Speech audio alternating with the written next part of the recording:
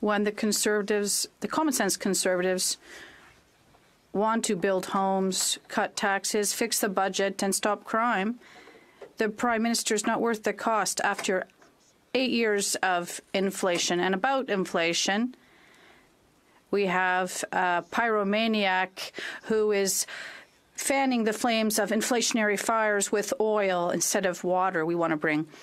Can the Prime Minister recognize with all of this billions in spending, it's getting hot and expensive for taxpayers? The Honourable Minister of Natural Resources. Merci, Monsieur le Président. Thank you, Mr. Speaker. The Conservatives, if they want to talk about the economy, um, I will be happy to do so. With 2 million Canadians more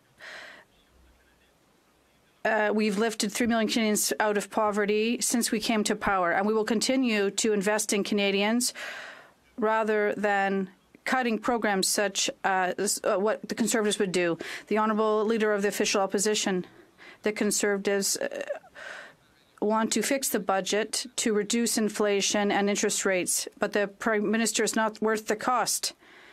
Mortgages, according to the lead economist of Scotiabank, inflationary deficits from this Prime Minister are driving up interest rates by 2% and preventing the Bank of Canada from reducing them. Canadians may lose their homes because of these big announcements with billions of dollars in inflationary spending. Can the Prime Minister recognize that his spending and mortgage rates are not worth the cost? The Honourable Minister. Thank you, Mr. Speaker. We are going to invest in Canadians, and that is why we're going to help every generation to move forward by building more homes faster and by making life more affordable. This Conservative leader uh, is does not believe that everyone deserves a fair chance.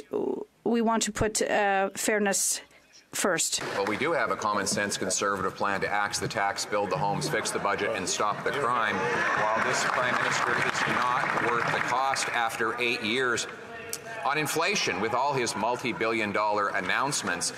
He is like the pyromaniac pretending to be a fireman, except the hose he's spraying gas on the inflationary fire rather than water. According to the Scotiabank's chief economist, these inflationary deficits are driving up mortgage payments. Doesn't he realize that all of his spending is putting the heat and the costs on our homeowners? The Honourable Minister of Natural Resources. Thank you, Mr. Speaker. This government has a plan for an affordable and prosperous future.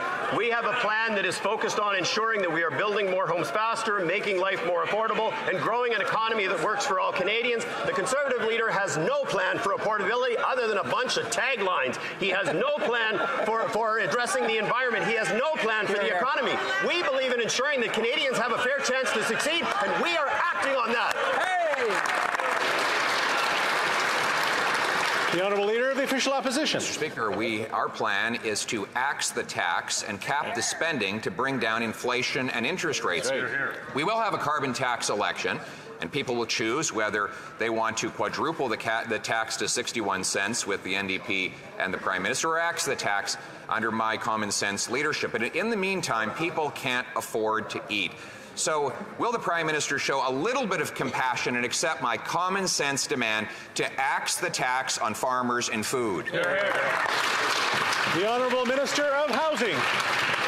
Mr. Speaker, it is laughable when I hear the Conservative leader talk about affordability. He mentioned in a previous question some concerns he has around housing policy. His plan to build more homes is to cut investments in home building, is to raise taxes on those who are building homes, and when it comes to actually changing the way cities build homes, his deputy leader held a press conference to explicitly declare that Conservatives were siding with the NIMBYs when it comes to zoning reform. We are going to do what's necessary to put money on the table to build more affordable housing, create market conditions to get more homes built, and change the way that cities build homes so we can solve the housing crisis. The Honourable Leader of the Official Opposition. He caused the housing crisis, Mr. Speaker. Under his role as housing minister, the amount of a paycheck necessary to make payments on an average mortgage is gone up to a record smashing 64% from 38%. And he is the only one, along with his prime minister, that wants to raise taxes on home building a massive carbon tax on the building materials that go into assembling those homes. So, will the Prime Minister, instead of hiking the tax, accept my common sense demand to axe the tax on farmers' food and houses at the same time? The Honourable Minister of Infrastructure and Housing. Mr. Speaker, it's interesting because he's actually put his plan on the record, and his plan includes putting the GST back on apartment construction for hundreds of thousands of middle class homes in this country. He has one of the worst records in the past decade of anyone when it comes to getting homes built when he had the position responsible for housing in Parliament. Mr. Speaker, while he was minister, they built exactly zero new apartments, zero uh, cooperative units, and only six affordable housing units across the entire country. We are helping get hundreds of thousands of homes built in this country, and we will do what it takes to solve the crisis once and for all. The Honourable Member for La Prairie. After pharmacare, dental care, and MAID, You'd think we'd seen the last of federal interference in Quebec's jurisdiction. No, the Liberals have announced that they also want to tell Quebecers how to build housing. This is the same government that lost control of immigration, created a Arrive scam, which is unable to pay its own employees through Phoenix, that created a monumental passport crisis, and it's unable to manage its own borders. Imagine this same government wants to lecture the provinces and Quebec. Are they not at least a little embarrassed? The Honourable Minister. Mr. Speaker, investing in housing in Quebec, is the Bloc against this? Investing in our daycares is the bloc against this. Making sure that our young Quebecers go to school with full tummies is the bloc against this. If that's the case, may they do like the Conservatives. Bloc Conservatives seem to be on the same side. It's the Bloc Conservative Party. The Honourable Member for La Prairie. The Prime Minister has the gall to add that if the provinces don't want to bend to his conditions, they don't have to take federal money. Do you know what we call that, Mr. Speaker? We call that blackmail, and not with federal money. There is no federal money. It's Quebecers' money. This government, incapable of doing its own job, has no legitimacy to deny Quebecers their share of the money they pay in taxes. The Prime Minister cannot take the money of Quebecers hostage. He needs to stop playing political games. The Honourable Minister, the Bloc is not the government of Quebec. We're just in discussions with the Quebec government, and in fact, the Quebec minister said this week that they are convinced that they can find agreements that will be win-win, Mr. Speaker. That's what the Quebec government thinks, and that's what we think. It's win for Quebec and a win for Quebecers. It's just not a win for the Bloc. Once again, they're doing the same thing as their friends, their conservative colleagues, and it's the same thing today. It's the conservative Bloc together. The, the Honourable Member for Burnaby South. How much money the Conservatives gave away to big corporations when they were in power? $60 billion wow. in free money. Now, imagine what we could have done with $60 billion. Instead of giving them to corporate handouts, we could have built a million affordable homes. Now, the Liberals love to criticize the Conservatives, but they maintain those same corporate handouts. So my question to the Liberals, will they stop the free ride for CEOs? Will they stop the 60 billion dollar in, in conservative corporate handouts and, and start investing to build homes that people can afford, start building a life that people can afford. Hear, hear, hear. The Honourable Minister, of Natural Resources. Thank you, Mr. Speaker, and thank you, the Honourable Member, for the question fairness is extremely important for Canadians. It is important that we are building a society that is socially just, that is prosperous, and that is environmentally sustainable.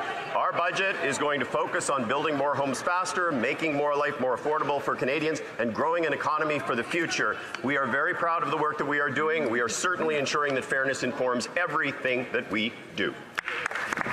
The honourable member for Burnaby South. Had nothing to say about the conservative corporate handouts that they maintained. La dernière fois. The last time the Conservatives were in power, big business got a big handout. A blank check for $60 billion. A gift that the Liberals kept up. This money could have been used to build millions of affording, affordable housing units. This is the price of voting Conservative. Will the Prime Minister commit today to reversing the Conservative $60 billion handout to big business? Yes or no? Yes. The Honourable Minister. Mr. Speaker, I'd like to thank my colleague for his question. It's really important to invest and to build a lot of houses quicker and more affordably. It's necessary to ensure that we can solve the housing crisis. We are working at the same time to help grow the economy as we put money on the table, as we announced this week, to create an acquisition fund for nonprofits who are going to maintain affordability permanently. That's on top of the Affordable Housing Fund, which is investing billions of dollars put a, to put a roof over the head of the most vulnerable. Mr. Speaker, we will do what it takes to make sure everyone in this country has a safe and affordable place to call home. The honourable member for Calgary Forest Lawn. Last week, this woke Prime Minister hiked his carbon tax scam 23%, despite a majority of Canadians making him spike the hike. As we see record smashing food bank usage across the country, farmers will pay another billion dollars into this scam, making the cost of groceries even more expensive. After eight years, this Liberal NDP government is not worth the cost or corruption. Will he finally axe the tax for farmers and food and pass Bill C 234 in its original form in next week's budget? Or is his agenda to push even more families into the food banks? Yeah, yeah. The Honourable Minister of Employment and Workforce Development. Mr. Speaker, I would like to know if um, members of the Conservative Party who come from Alberta have paid particular attention to what Premier Danielle Smith said about the Canada carbon rebate when she said she manages the finances of her own house and it turns out that the Canada carbon rebate gives her family more money than she puts in the price on pollution. And guess what? She lives in rural Alberta, so she gets even more, Mr. Speaker. That's the plan.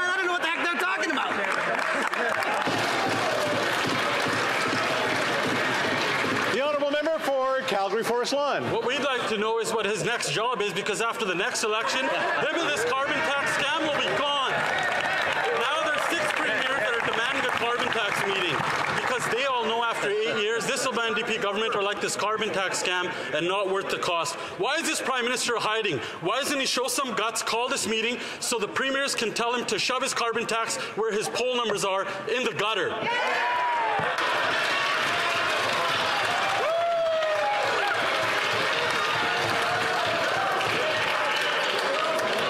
I know, I know we've been away for a couple weeks, and we're, we're looking forward to seeing each other, but try to keep our comments as, as reasonable as possible. Uh, the Honourable Minister of Employment and Workforce Development. Mr. Speaker, it's nice to see how focused that particular MP is on me and my career. Guess what? My colleagues on this side of the aisle and me, we are focused on the people of Edmonton Centre. We're focused on Albertans. We're focused on Canadians, making sure they can pay their bills, making sure they have good jobs, making sure that we're fighting climate change, having a national school program. What they're doing is just bluff and bluster and lots of hot air. We're going to be here fighting for Canadians each and every day.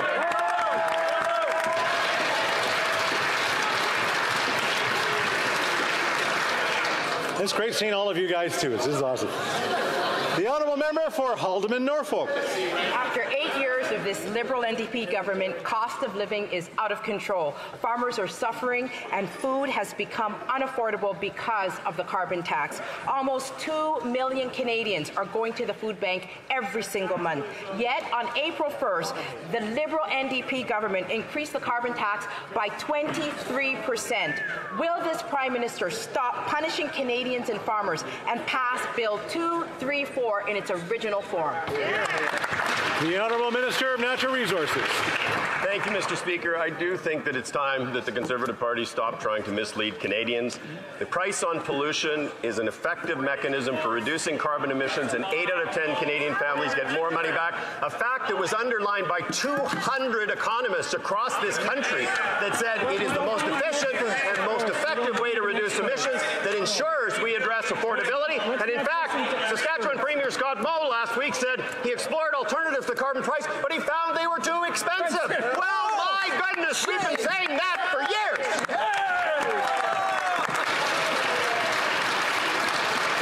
The Honourable Member for Haldimand Norfolk. afford to live because of the carbon tax. Common sense conservatives will axe the tax, build the homes, fix the budget, and right. stop the crime. After eight years of this Liberal NDP government, rent and mortgages have doubled. The Liberal NDP government is just not worth the cost or the corruption. Will this Prime Minister commit to immediately passing Bill 234 in its original form, cancel the carbon tax, and once again make life affordable for Canadians? The Honourable Minister of Natural Resources. This is the fundamental problem with this remade Conservative Party, where policy is based on ideology and ignores all of the facts. 200 economists from across this country underline that the price on pollution enhances affordability for those on modest incomes and addresses climate change in an effective manner. Even Scott Moe and Danielle Smith have said that. And these folks sit on their hands, these climate denying conservatives. It is time they listen to people who actually know what they're talking about and abandon their plan to simply let the planet.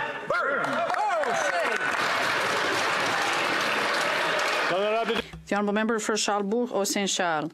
Mr. Speaker, I was in Trois Rivières last week, where the housing vacancy rate is 0.4%. Yet, a new CMHC report shows that construction will drop drastically over the next year. Uh, as a result, CMHC predicts that demand will drive up housing prices, but it doesn't make sense. Does the Prime Minister realize that people will end up in the streets because of his insane policies?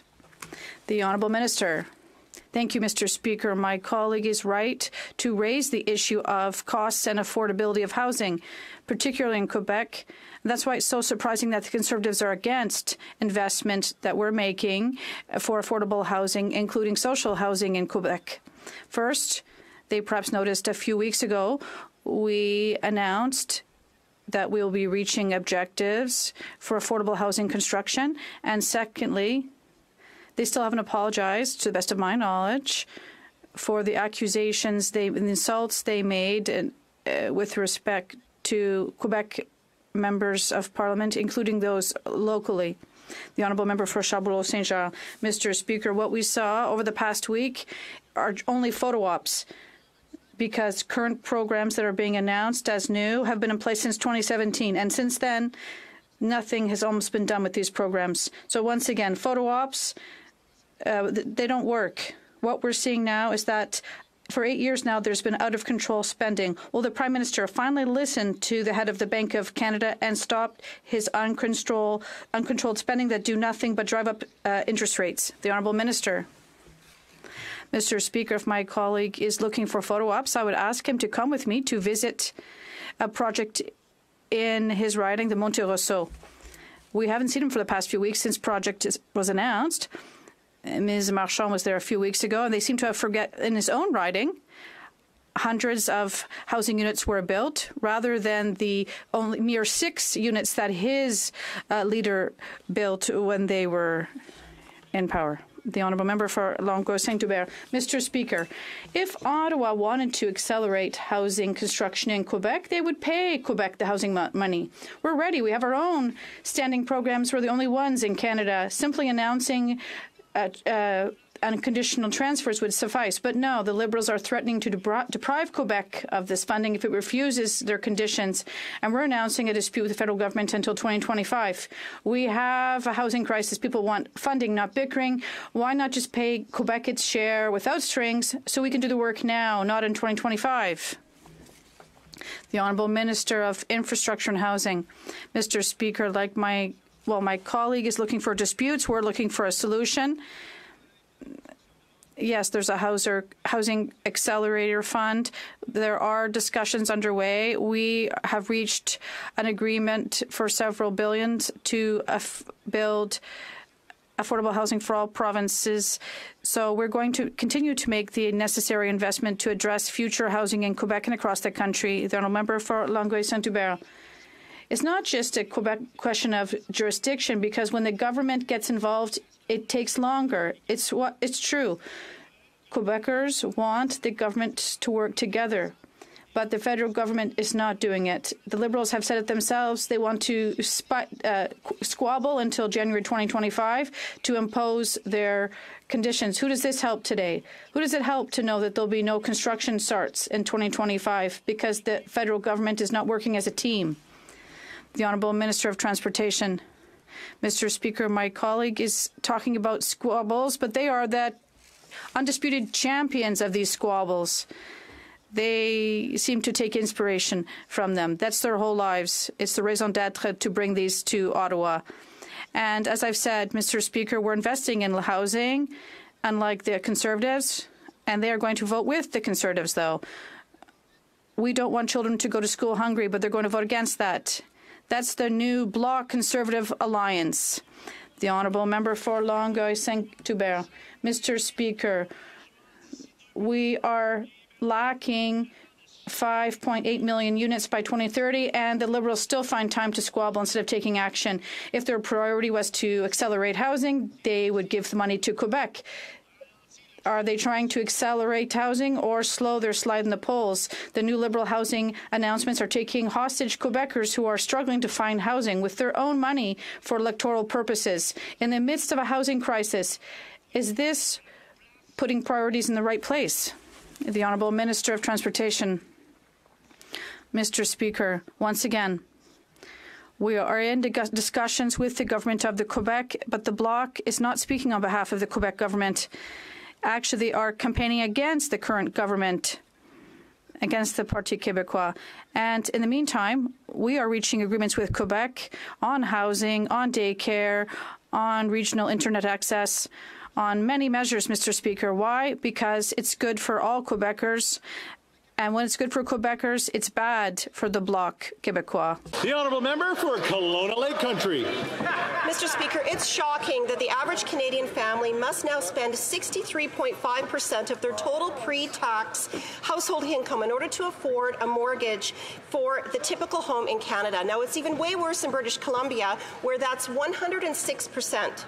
100% is someone's entire income. Wow. No wonder families are in a financial crisis where they can barely afford to live or feed themselves. And this is after eight years of this NDP Liberal government. Will the Prime Minister actually build the homes, not bureaucracy and photo ops, in his budget? The Honourable Minister of Infrastructure and Housing. Uh, Mr. Speaker, I take the question with a heavy dose of irony, considering that we've invested $31.5 million through the Housing Accelerator Fund in that member's constituency.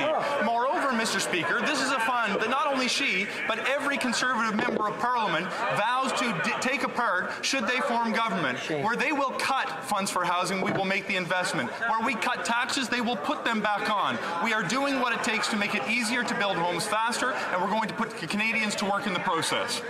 Well, member for Kelowna Lake Country. Well, Mr. Speaker, a heavy dose of reality is after eight, year, eight years of this Liberal NDP government and all of their spending and photo ops, things are worse. And just today, RBC confirmed that Canada's housing crisis is only going to get worse under Liberal policies. They said only 26% of Canadian households can afford a single detached home today. Now, a couple decades ago, that was 49%. The CMHC forecasts in 2025-26 housing starts will even be lower than in 2020-2021. So this Prime Minister is just not worth the cost and the corruption. Will the Prime Minister actually build the homes, not bureaucracy and photo ops, in his budget? Honourable Minister.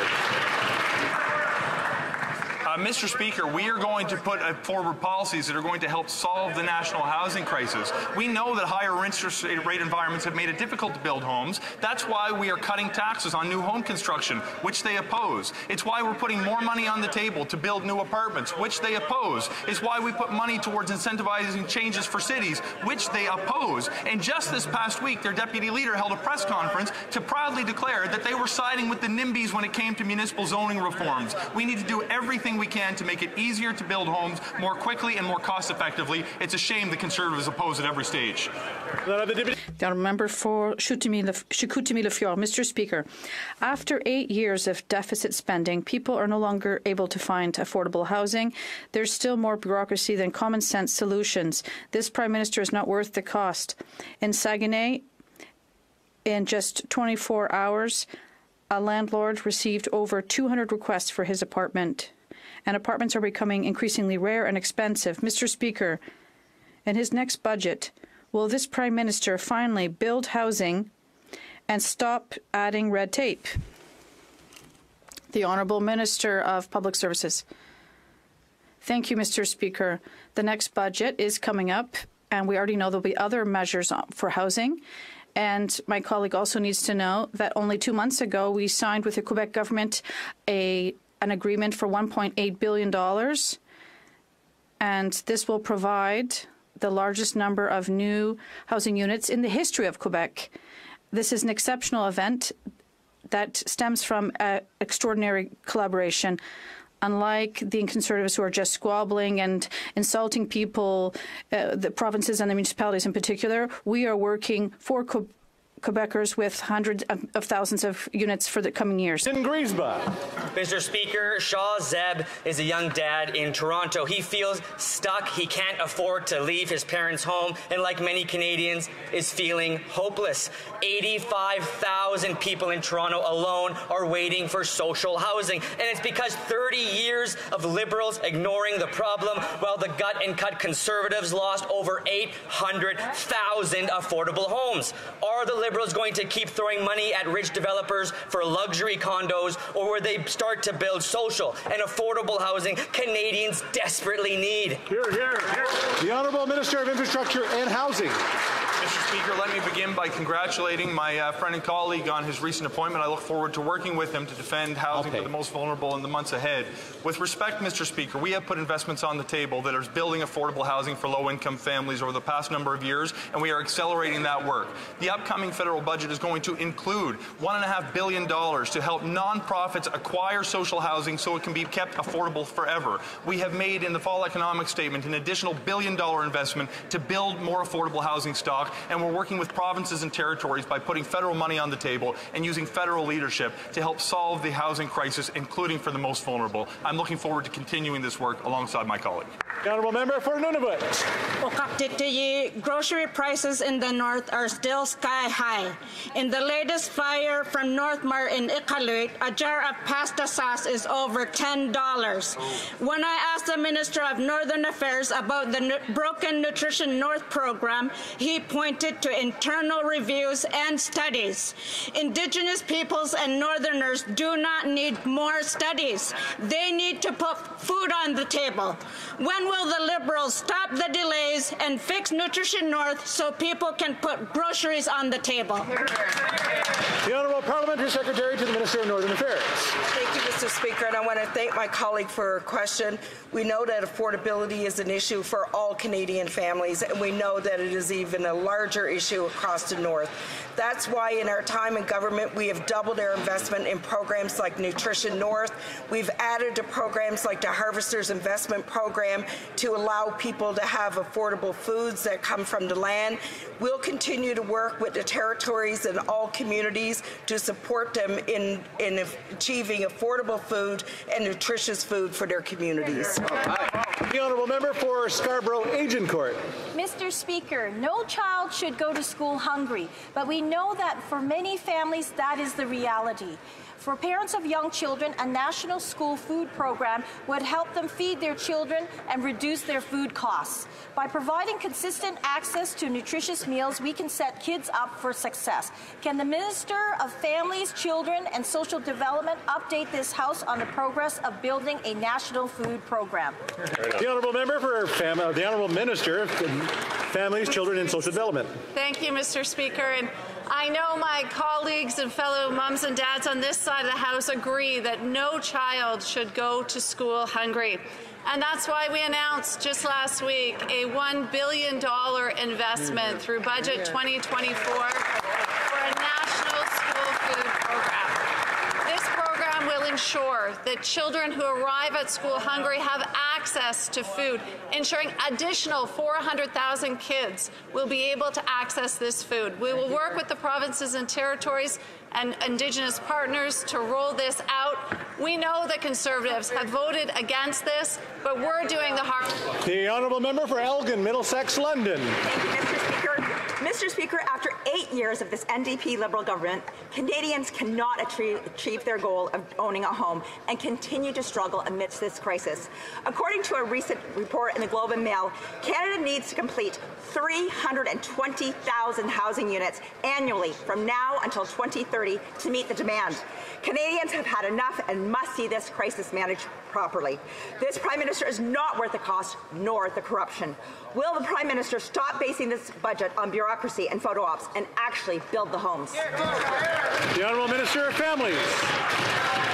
Mr. Speaker, uh, quite the contrary. You know, I have the opportunity to speak with many mums and dads across this country about the programs that we've been putting in place to support them. I recently spoke to Chris, who lives in Peterborough. She's a Trent University student.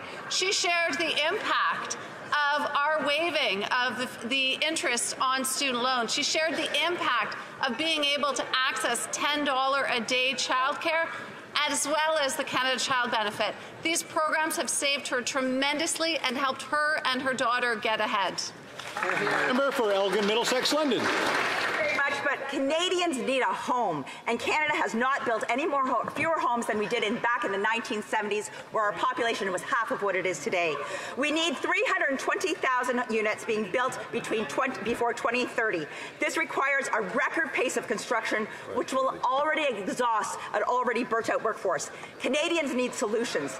This Prime Minister is not worth the cost. Will this Prime Minister stop making announcements and just get the houses built? The Honourable Minister of Housing.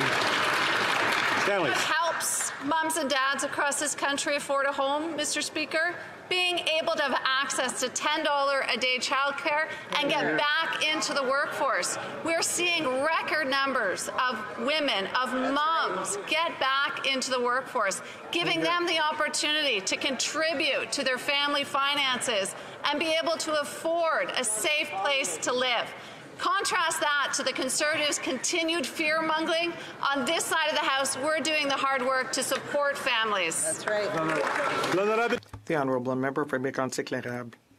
After eight years of this Liberal government, finding housing in Canada is a nightmare. It's, it's ironic to see the ministers and prime ministers traveling the country boasting how uh, incompetent they've been in terms of housing. And the proof is that the CMHC, CMHC reminded them last year that uh, average home prices doubled last year, and that is under the Liberals. Will next week's budget finally be used to build homes, or is it going to increase red tape? The Honourable Minister. Thank you, Mr. Speaker. Obviously, next week budget is going to contribute to even more housing, but let's uh, think about the numbers: six and eight thousand. The uh, conservative leader across the country created uh, six affordable housing units. But in the past week, uh, we've signed an agreement with Quebec for to, to build 8,000 housing units just for Quebec. So unfortunately, my conservative colleague, colleagues uh, in Quebec have uh, are not supporting the Liberals. So uh, hopefully they'll be able to contact us. Monsieur le Président, Mr. Speaker, what the minister needs to know is that, that when the member of Carleton was a minister, all housing was affordable in Canada, Mr. Speaker. Now the Liberals have uh, doubled home prices for all Canadians. Young people would think that they'll never be home uh, homeowners. Seniors can no longer pay their rents. They have to stay in substandard housing, Mr. Speaker. 80% of people are going to have to renew their mortgages, but they're worried they won't be able to make their payments. Mr. Speaker, once again, will the Liberals finally use common sense next week by announcing that they're going to build housing and not just create more red tape? The Honourable Minister. Thank you, Mr. Speaker. My colleague is right. All affordable housing built uh, by uh, all, all, six units of affordable housing were affordable. But uh, we're going to create, uh, build hundreds of thousands of affordable housing units under the agreements we've signed. Just in Quebec, we're talking about 8,000 social housing units that are planned for next month. That's a historic agreement. And uh, we signed it with the Quebec government. The Honourable Member for Jonquière. While the federal government encroaches on Quebec's areas, areas of jurisdiction, it, it, should look at its own areas of jurisdiction. The Prime Minister has finally admitted that immigration levels have exceeded our integration capacity. But who's the irresponsible person who increased permanent immigration without thinking of houses, schools, or health care? Who is this reckless individual who called people xenophobic when we talked about integration capacity? Mr. Speaker, if only we knew who this person was, could, could be even the same person who's racking up debt. Does the Prime Minister know the name of this irresponsible individual? L'Honorable Minister. The Honourable Minister. L'Honorable.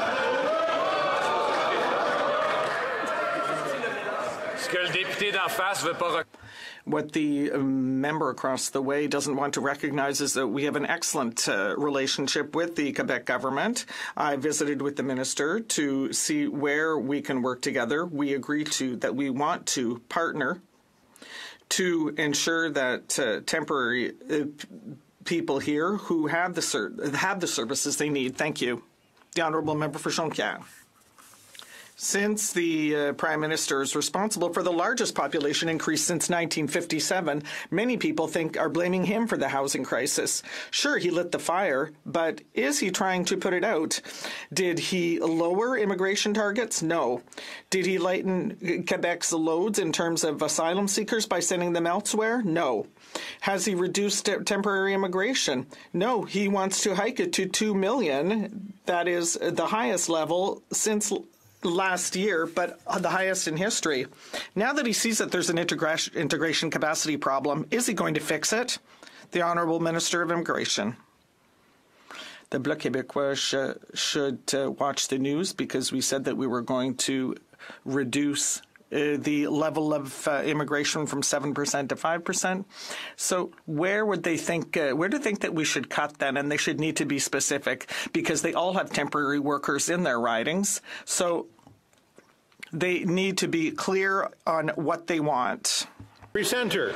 Speaker, Canadians are clear on the two most important economic issues we face inflation and high interest rates and they understand that government de- deficits cause inflation. Runaway deficits cause runaway inflation. This year's deficit is expected to be $47 billion, $7 billion higher than forecast. To say this is a runaway is an understatement. The Bank of Canada, the governor has been clear. Deficits are the main factor keeping interest rates high. Will the Prime Minister cap his runaway spending with a dollar for dollar rule to bring down interest rates and inflation? Hear, hear, hear. The Honourable Minister of Natural Resources. Thank you, Mr. Speaker. It is important that a responsible government addresses issues around affordability it addresses issues around environmental sustainability. It invests in growing a clean economy, and it, and it, it has a sound fiscal management strategy. We are doing all of those things. On the other side of this House, we have a Conservative Party of Canada who simply wants to cut and to cut and to cut. They will cut affordable childcare. They will cut dental care. They will cut the National School Food Program. They will cut the entire climate program. They will actually cut investments in growing a clean economy for the future my goodness, it's such an irresponsible position that these folks are taking.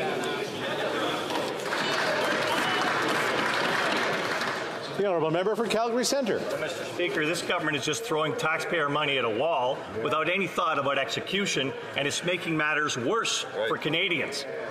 It's a whack a mole approach to economic policy.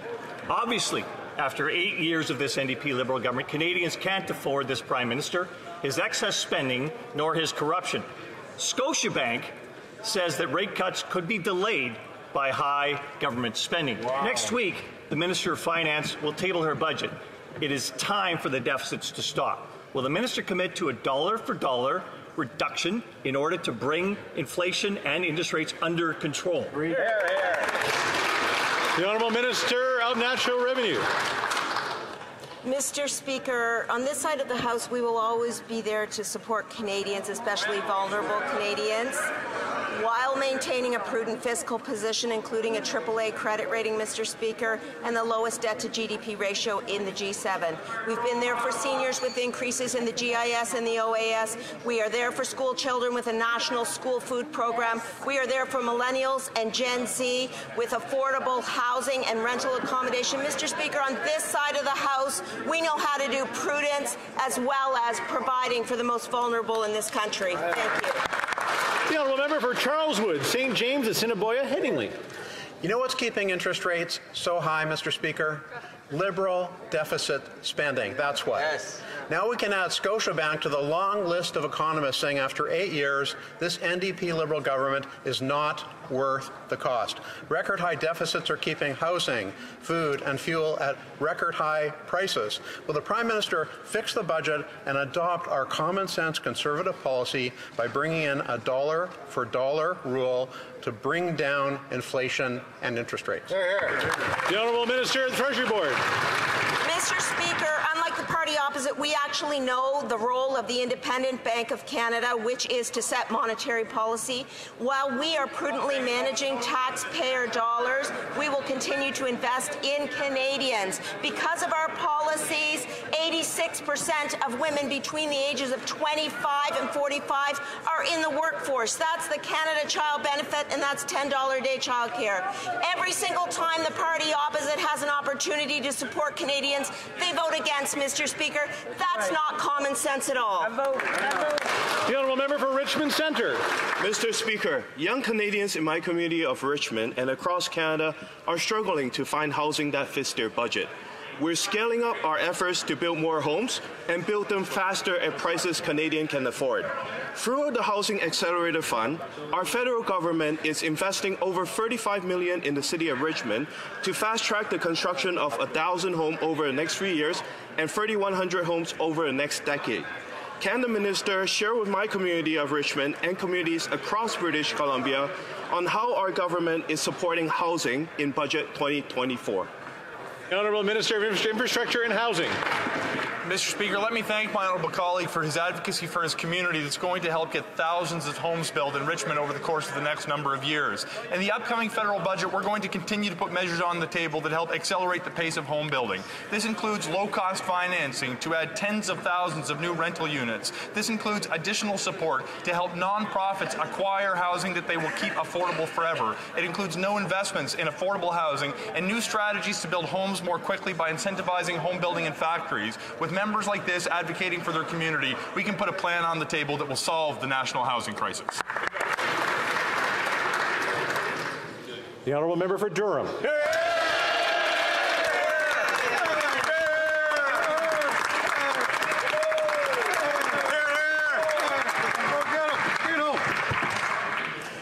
Mr. Speaker, Durham Region is home to many millennials who dream of owning a house one day.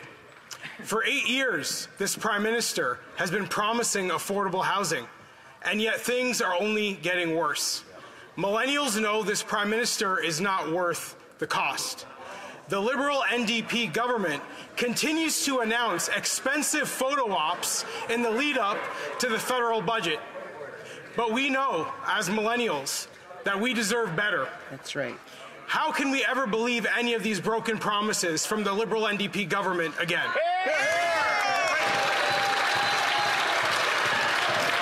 The Honourable Minister of Infrastructure and Housing. Mr. Speaker, let, me begin by offering my sincere congratulations to our newest colleague in the House of Commons. It's wonderful to have you here. What he may not realize, Mr. Speaker, being new to the House, is that his leader is actively campaigning on commitments to build fewer homes than we are already projected to build. He may not realize that the Conservative leader has promised to raise taxes on home building. Oh. He may not realize the Conservative leader has pledged to cut funding for home building, and he may not realize that his party held a press conference last week to say that they don't want to do anything on municipal reforms and have decided to side with the NIMBYs. Mr. Speaker, over his time here, I hope he comes to see the light and gets with a plan that will build more homes. Hear, hear. The honourable member for Kamloops, Thompson Cariboo. Mr. Speaker, after eight years of this Liberal Prime Minister's radical safe supply agenda, we see lives being put at risk. After this NDP Liberal government decriminalized hard drugs, nurses now in northern British Columbia are being told to allow patients to use hard drugs in their rooms and have weapons in their hospital rooms. This, Mr. Speaker, is unfair and unsafe for workers and patients. Mr. Speaker, when will this Prime Minister wake up and realize that his radical drug policy just isn't worth the cost? Yeah. Honourable Minister of Mental Health and Addictions. Mr. Speaker, every healthcare worker in this country deserves to be safe in their place of work. That's why this government passed legislation exactly for that reason. I too am concerned about the reports and expect the B BC government to take the necessary actions to address the concerns raised by healthcare providers. On this side of the House, Mr. Speaker, we're saving lives. On that side of the House, they're busy with slogans and stigma. The honourable member for Cumberland Colchester. Mr. Speaker, 300% more government issued opioids are being seized by police in British Columbia. More drugs on the street mean the street prices for opioids are falling across this country, and that's what we're seeing. This delusional NDP Liberal government wants you to think that giving out free drugs to our most vulnerable is a cure. But Canadians know this is nonsense. When will this narcissistic Prime Minister, who is not worth the cost, crime, or corruption, end this cruel and disastrous?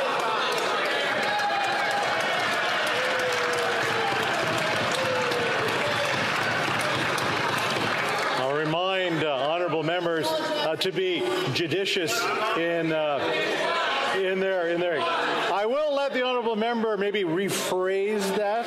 The honourable member for Cumberland Colchester. Well, uh, you know what, Mr. Speaker, what I would like to say here is, given the fact that I uh, practice a physician a long time, that's the diagnosis, Mr. Speaker.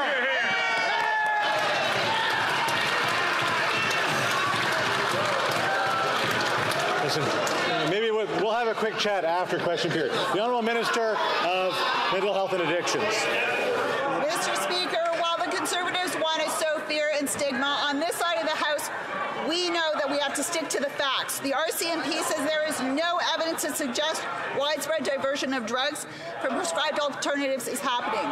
However, prescribed alternatives are not the issue, Mr. Speaker. Any diversion is illegal in this country, whether it's medication for ADHD, pain management, or anything else. Those are the facts, Mr. Speaker.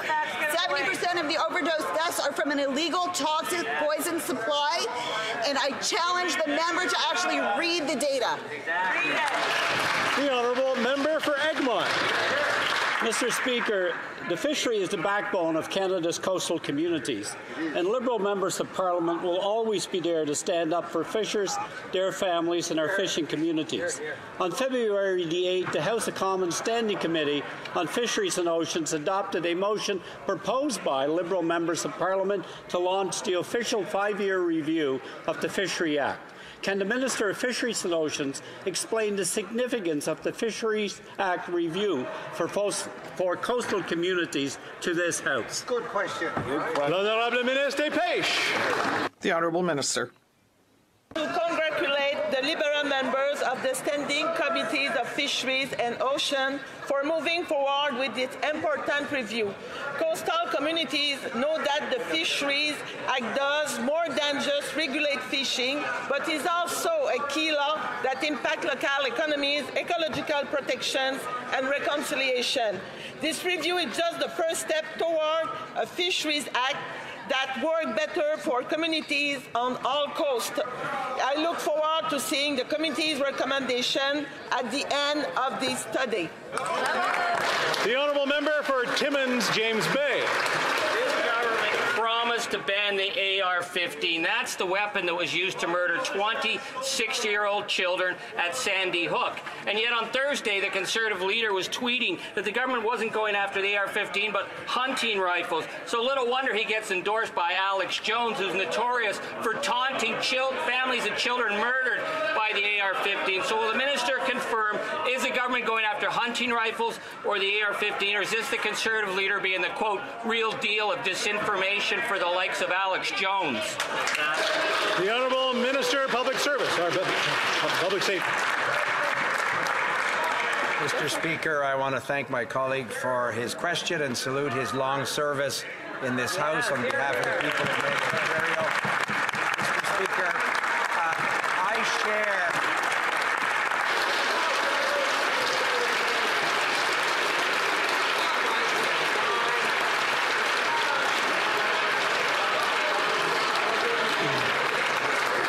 The Honourable Minister of Public Safety. I've never had that much applause, Mr. Speaker, in the House before.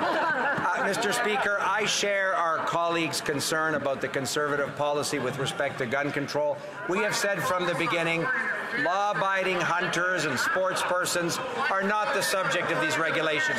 Mr. Speaker, what we're doing is taking away guns that were designed to kill people on the battlefield, and we're also prepared to compensate the people that bought those guns lawfully. It's something the Conservative Party will undo, and we're committed to keeping Canadians safe. The Honourable Member for Richmond, Arthabaska. Mr. Speaker, since I've been a member here, every February we receive the list of projects that were accept- accepted or refused under New Horizons, a program that improves the lives of seniors. Unfortunately, this year, for a reason we weren't told, we haven't had access to this information, so we can't help our local organizations. I've sent three emails, made five phone calls, and even sent a fax to the Office of the Minister of Labour and uh, seniors, but I didn't even receive an acknowledgement of receipt. Mr. Speaker, it's very discouraging. In order to do our work properly, we would like the minister to explain why we're not getting this information and will the situation be rectified? Thank you. The Honourable Minister. Mr. Speaker, and I thank the honourable member for the question, and even a fax. Uh, so I've uh, got no excuse there. I will. Uh, I will dig in deeper and uh, get the answers that the member is looking for. Thank you, Mr. Speaker. Great idea. And that's all the time we have for question period today. Uh,